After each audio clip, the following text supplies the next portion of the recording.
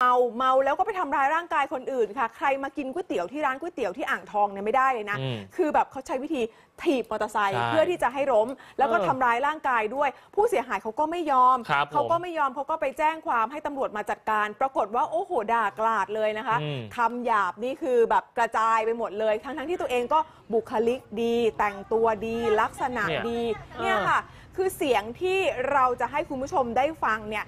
มันมันค่อนข้างที่ต้องถูกดูดออกเป็นระยะระยะเลยนะคะ เพราะว่าเป็นคำหยาบคายมาปนๆกันเต็มไปหมดเลย เออ ซึ่งก็เป็นทั้งผู้ที่เอ่อถูกกระทำแล้วก็คนที่กระทำคนอื่นเขาคุณผู้ชายคนนี้เขาอ้างตัวเองว่าเขาเป็นทนายค่ะ เหตุเกิดที่อ่างทองนะคะ แต่ว่าจังหวะที่ภาพที่เราสามารถบันทึกไว้ได้เนี่ยเป็นภาพจังหวะที่ผู้เสียหายมาแจ้งตำรวจแล้ว ครับ แล้วผู้ชายคนนี้เนี่ยก็หลังจากก่อเหตุที่ไปถีบเขานะคะ ไปทำให้รถเขาเสียหายแล้วเนี่ยมานั่งรอรถตู้อยู่ตรงนี้ อืม นักข่าวมาตามบันทึกภาพได้ตรงคิวรถตู้ตำรวจเจรจาบอกว่าไปะไปโรงพักกันเถอะ แต่ว่าก็ไม่ยอมไปแถมยกนิ้วกลางให้กับทั้งนี่นักนี่ข่าว ทั้งเออ ตำรวจ ทั้งคนที่อยู่แถวนั้นรวมถึงผู้เสียหายด้วย ผู้เสียหายก็เลยอดรนทนไม่ไหว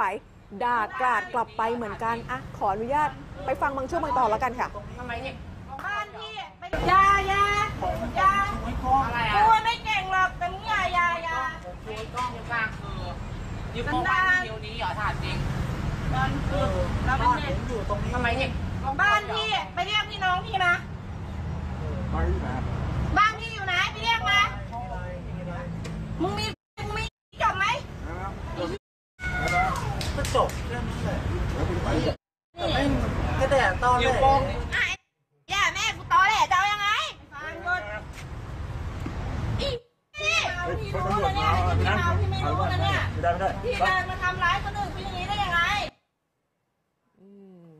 เอออ่านะอย่าก็ ถือคนบ้าอย่าว่าคนเมาแต่ว่าหลังจากนี้ก็คงต้องถูกดำเนินคดี เพราะไปทำให้คนอื่นเขาทรัพย์สินเสียหายไง ใช่นะฮะแล้วก็สังเกตดูนะโอ้โหเก่งกับสุภาพสตรีด้วยจ้ะ นะฮะโอ้โหนะคุณนิรันดร์เนี่ยนะฮะอายุ 45 ปี ขาดนะค่ะ นอกจากสุภาพสตรีแล้วยังเออขาดเก่งกับคนแก่อีกนะนั่นน่ะสิอ่าโอ้โหนะคะก็ไปไปมาๆแล้วถามว่าเป็นทนายหรือเปล่าเขาบอกว่าไม่ได้เป็นทนายค่ะ อืมเขาบอกเป็นแค่เสมียนทนายเท่านั้นเองนะครัคะ บก็พอวัดแอลกอฮอล์เนี่ยสูงถึง 227 มิลลิกรัมเปอร์เซ็นต์ เพราะฉะนั้นไม่แปลกใจเลยว่าทำไมถึงได้มีพฤติกรรมแบบนี้นี่นะนะคะ ขนาดตำรวจมาแล้วนะฮะนักข่าวมาแล้วนะฮะก็ก็ยังไม่หยุด แล้วพฤติกรรมที่ผู้เสียหายบอกแหละฮะก็คือ พอขับรถมาจอดกินก๋วยเตี๋ยวปุ๊บค่ะ โอ้โหมาถีบรถเขาค่ะนะฮะมาทำร้ายร่างกายเขาอะไรอืมต่างๆ เหล่านี้อืมนะฮะเขาก็เลยเนี่ยทนไม่ได้ก็เลยไปค่ะ แจ้งความอะตำรวจก็เลยคุมตัวไปที่โรงพักนะฮะให้ไปสสงงบบสสติติอาอารรมมณ์ณ์หน่อยนะคะ เออ แล้วก็วัดปริมาณแอลกอฮอล์ด้วยนะคะอะก็ฝากไว้เป็นอุทาหรณ์นะสำหรับ น้ำเปลี่ยนนิสัย เพราะว่าครับ